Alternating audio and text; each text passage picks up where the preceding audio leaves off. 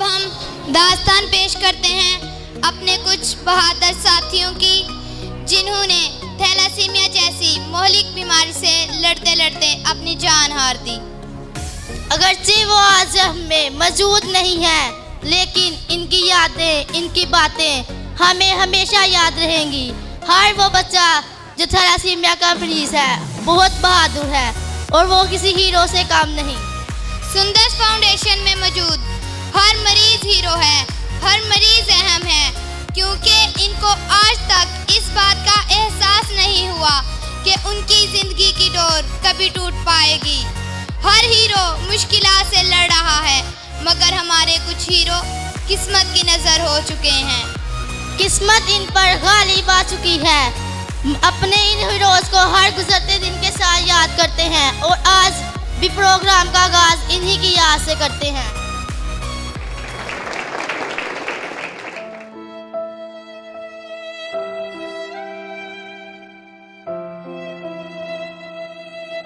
Thalassaemia میں مبتلا بچے کے نام۔ ماں کا خط اپنے تھیلسیمیا سے فوت ہوئے بیٹے کے نام۔ میرے لختے جگر، میرے لختے جگر، یہ سال جو میں نے تمہارے بن گزارا ہے، تمہیں معلوم ہے، یہ تمہاری سوتی، جاگتی آنکھیں۔ تمہیں اس سال کے ہر روز و شب کے آٹھوں پہروں میں مسلسل اپنی پلکوں کی گھنی شاخوں کے جھولے میں جھلاتی تھی۔ میرے لختے جگر یہ سال جو میں نے تمہارے بن گزارا ہے، تمہیں معلوم ہے یہ تمہاری سوتی جاگتی آنکھیں۔ تمہیں اس سال کے ہر روز و شب کے آٹھوں پہروں میں مسلسل اپنی پلکوں کی گھنی شاخوں کے جھولے میں جھلاتی تھی۔ تمہارے واسطے ہر روز اٹھ کر میں تمہارا ناشتہ تیار کرتی، گیٹ پر جاتی، کسی راہگیر بچے کو کھلاتی، پھر تمہارے جوتے پالش کر کے ہینگر میں لگے اپنے جگر گوشے کا یونیفارم۔ دوبارہ پریس کر کے اسے ہینگر میں لٹکاتی۔ تمہارے ہی برش سے اپنے بکھرے بکھرے بالوں کو برش کرتی۔ تمہارے بیگ میں ترتیب سے رکھی کتابوں، کاپیوں اور پینسلوں کو۔ پہلے بے ترتیب کرتی اور پھر ترتیب سے رکھتی رہی ہوں میں۔ میرے بچے میرے بچے، مجھے معلوم ہے مجھے معلوم ہے تم مر کر بھی زندہ ہو۔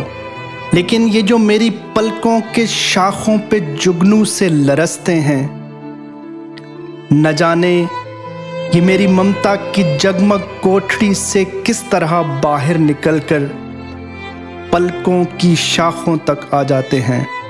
میں تو کیا کوئی بتلا نہیں سکتا مگر مجھ کو پتا ہے۔ مجھ کو پتا ہے اس گزرے برس کے تین سو پینسٹھ دنوں میں یہ جگنو تمہاری روح کے اندر چراغوں کی طرح جلتے رہے ہیں۔ میرے لختے جگر، یہ جو سال میں نے تمہارے بن گزارا ہے، تمہیں معلوم ہے۔ بیٹے کا ماں کے نام خط میں خوش قسمت ہوں پیاری ماں، کہ جس بیماری سے میں عمر بھر لڑتا رہا ہوں۔ کریم اللہ اسی بیماری کو ہمارا وسیلہ جنت بنائے گا۔ کہ میں نے سن رکھا ہے جب ننے فرشتے اور پھر بیمار فرشتے اس دنیا فانی سے جاتے ہیں۔ تو جنت ان کی منتظر ہوا کرتی ہے۔ ماں، تو خوش قسمت ہے۔ تو خوش قسمت ہے کہ تجھے اللہ نے جس امتحان میں ڈالا تھا، تو اس میں سرخرو ہو کر بلند رتبے پہ فائز ہے پیاری ماں۔ ہاں بہت روئی ہے تو۔ بہت روئی ہے تو ان تین سو پینسٹھ دنوں میں تو بہت روئی ہے پیاری ماں۔ تیری آنکھوں کے جگنو تیری پلکوں سے اتر کر میرے جسم و جان کے اندر بھی چمکتے تھے۔ مگر اب اب نہیں رونا۔ میرے بستے کی پچھلی جیب کے اندر تیری اور میری ایک تصویر ہے۔ جو میں نے کھینچی تھی۔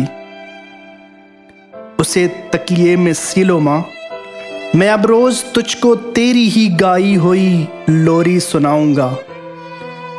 اور اپنے بچپنے کی نیند کی آغوش میں تجھ کو سلاؤں گا۔ تجھ کو سلاؤں گا۔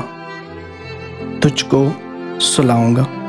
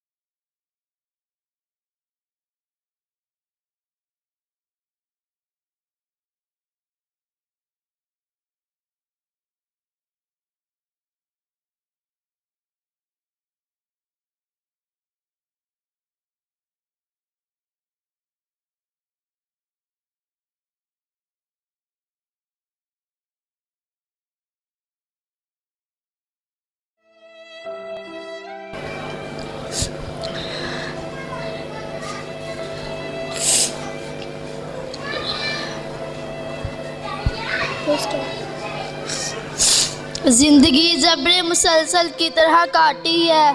زندگی زبر مسلسل کی طرح کاٹی ہے۔ جانے کس جرم کی پائی ہے سزا یاد نہیں۔ چلتے ہیں اگلی پرفارمنس کی جانب۔ امید ہے آپ کو بہت پسند آئے گی۔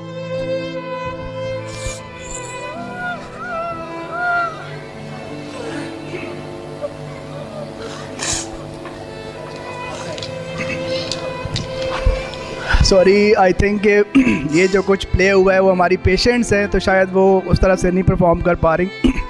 کوشش کروں گا کہ میں اس پروگرام کو آگے لے کے چلوں۔